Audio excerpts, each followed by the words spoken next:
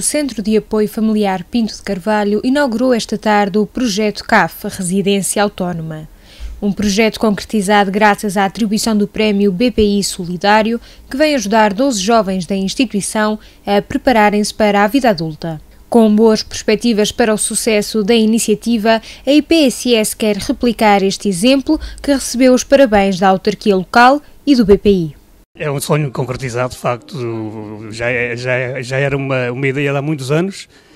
É, problema, como, como eu falei há bocado, problema financeiro foi, foi, foi, foi importante. Agora, com, com esta ajuda do, do, do BPI Solidário, foi um arranque para, para, um, para um sonho realizado.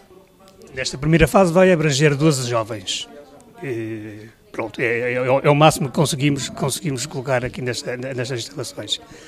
E o futuro, a Deus pertence da parte da instituição uh, também já um outro projeto uh, seguinte a este passo, mas que acaba por estar um bocadinho aqui em stand-by, não é? Exatamente, esse projeto já está, eh, já está executado, já há cerca de um ano, vai fazer um ano, mas por uh, partes burocráticas, que é o termo, partes burocráticas, ainda não, não, te, não temos o, a autorização de o abrir porque as seguranças, o acordo, o acordo de cooperação que a Segurança Social eh, nos deveria dar ainda não foi assinado. Portanto, temos que aguardar uma situação que é muito desagradável para nós, porque temos eh, quatro jovens que já poderiam estar lá nas suas, na, na sua plenitude, nas suas ações e neste momento continuam aqui porque a burocracia assim o indica assim o obriga.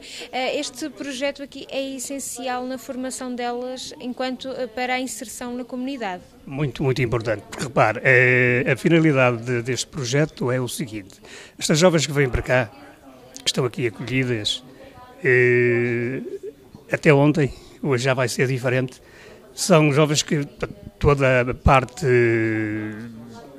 de alimentação, limpeza, é tudo feito por, pelas empregadas, pelas nossas, nossas funcionárias que temos cá.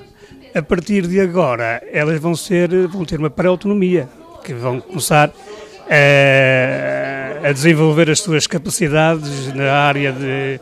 em todas as áreas. Portanto, repare, isto é como. isto é uma casa. É uma casa em que onde elas vão ter que ter as suas, suas lides de limpeza, confeccionar comida, lavar uh, as suas roupas, portanto, é uma casa, é como a nossa própria casa, e elas vão ter que o fazer.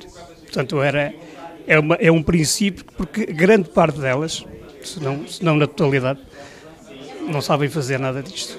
Portanto, Portanto, isto acaba por ser uma preparação, é? digamos assim, para não receberem um choque tão grande com aquilo que é a realidade. Exatamente, por isso é que chamamos a pré-autonomia.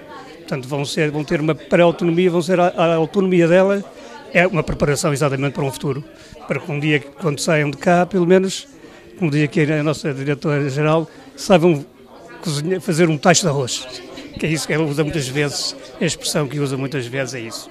Quais é que são as expectativas para o futuro deste projeto?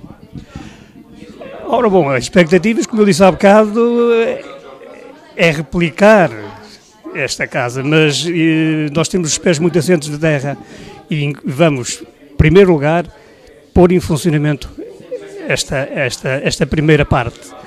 E vamos ver como é funciona, porque isto é uma inovação. E, ao ser uma inovação, nós é sempre, é sempre é, nunca sabemos se os resultados vão ser bons ou maus. Esperamos bem que sejam, que sejam bons. E depois, no futuro, com a ajuda de alguém, que vamos ver se alguém nos ajudará, a replicar uma segunda, uma, uma, uma segunda aula. Muito obrigada, Sr. Presidente, pelas suas palavras. Passamos então eh, agora aqui à diretora. Eu pergunto-lhe, eh, durante os seus discursos disse que este acaba por ser uma inovação, mas que era algo óbvio.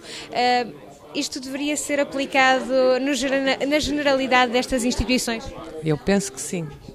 Eu penso que sim, eu penso que, que não temos só que sentir a obrigação de garantir um bom percurso académico que garanta depois um melhor ou pior percurso profissional para cada uma delas, conforme a vontade delas, mas eu penso que este tipo de competências que têm que ser trabalhadas à semelhança daquilo que nós fazemos em nossa casa com os nossos filhos, não é?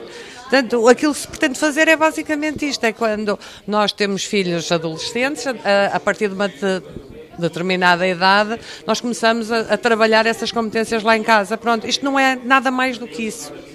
É em grupo, é, é no espaço de acolhimento institucional, mas é desenvolver essas mesmas competências junto delas.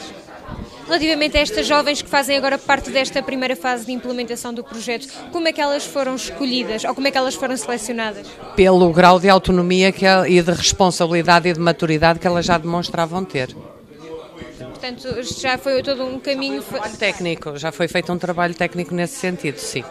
E aqui neste apartamento, porque acaba por ser, eh, quais é que são as áreas, como é que todo este projeto se desenrola, digamos assim? Elas, portanto, existe todo um método de trabalho que já foi desenhado, eh, todo um esquema.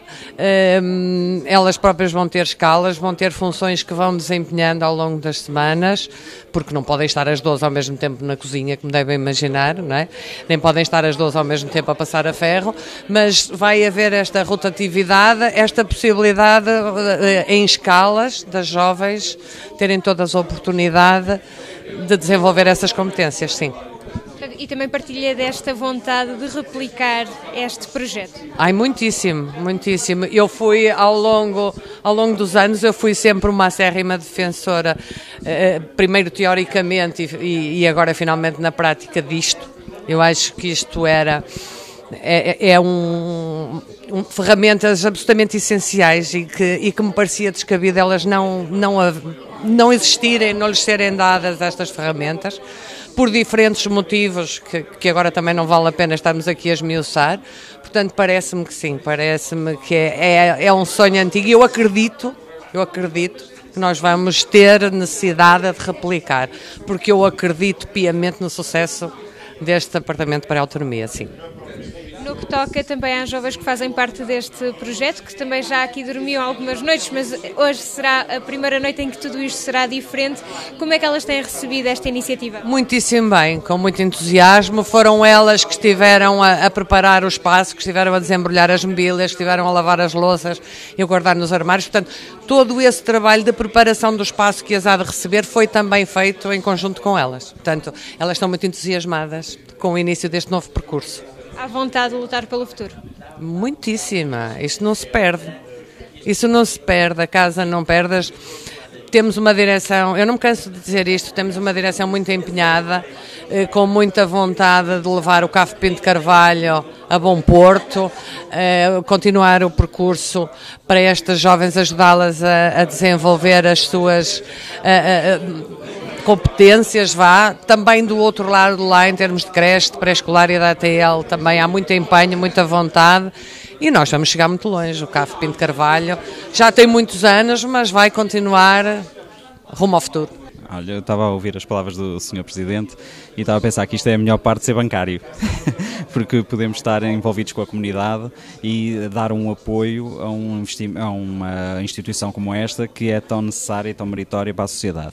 Efetivamente, para o BPI eh, apoiar este tipo de projetos já vem sendo uma tradição e felizmente vamos continuar a ter essa tradição ainda mais reforçada com a integração do novo acionista, que é o CaixaBank, e da sua fundação lá, Caixa, que é uma, a maior fundação europeia em termos de apoio social e que tem um orçamento anual de 500 milhões de euros, que para nós é estratosférico, face àquilo que nós temos vindo a fazer nesta área e, portanto, vai permitir ao banco e através do banco chegar a muito mais pessoas e ser muito mais interventivo na sociedade.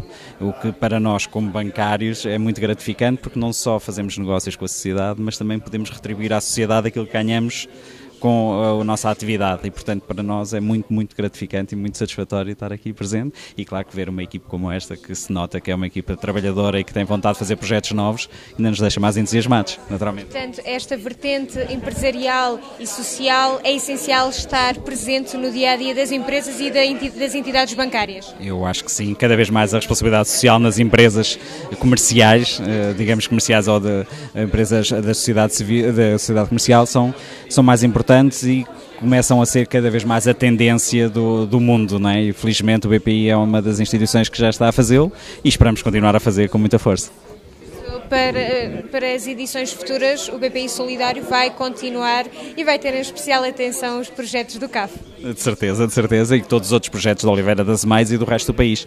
É um prémio que já existe há uns anos e que já teve a oportunidade de distribuir umas centenas de milhares de euros, o que é muito bom, e poderemos no futuro chegar a muito mais, precisamente com o apoio da Fundação La Caixa, portanto será para continuar a apoiar. Este é um projeto que nos honra muito uh, e saber que Oliveira das Meias está na linha da frente uh, deste tipo de, de, ofertas, porque estamos a experimentar uma, um, algo de novo. Uh, já existem algumas, alguns espaços ou de, de, autonomia, mas dentro da de uma instituição, criar um espaço reservado em que crie, no fundo, um patamar diferente de autonomia antes uh, de, as, neste caso, das raparigas saírem de cá uh, para uma autonomia diferente num espaço que não está no, no seio da instituição uh, e torna, no fundo, uh, maior a dificuldade de entrar no mundo lá fora, entre aspas. Portanto, criar, no fundo, este patamar inicial, um pouco ainda com uma retaguarda mais próxima das técnicas da instituição, no fundo, é algo inovador e esta o, este prémio BP Solidário ter contemplado este espaço uh, aqui numa das aulas do Lar Pinto de Carvalho é muito importante e, e está, o espaço está muito bonito, como acabamos de ver, muito uh, para, para as 12 utilizadoras que vão estar aqui.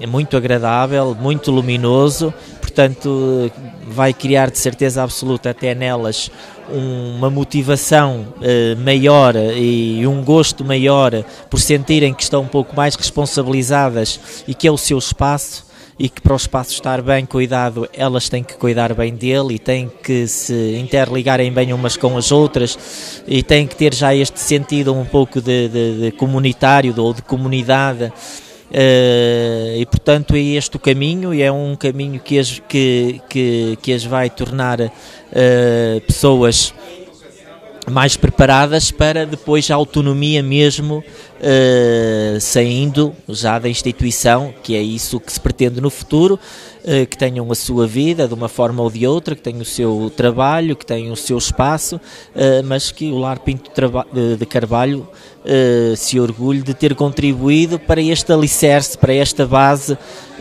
em que lhes deu eh, e elas daqui a 5, 10, 15, 20 anos olhem para trás e, digam valeu a pena uh, ter estado neste, neste espaço antes de sair diretamente para uh, lá para fora e portanto uh, como vereador é com muita satisfação que cá estou na inauguração deste espaço de autonomia e, portanto, com muito orgulho, como disse no início, e como disse o Sr. Presidente do Lar Pinto Carvalho, encerrou desta forma a sua intervenção. O Conselho, sem esta IPSS e sem outras IPSS que prestam serviços de apoio nesta, nesta área, seria obviamente um município muito mais pobre.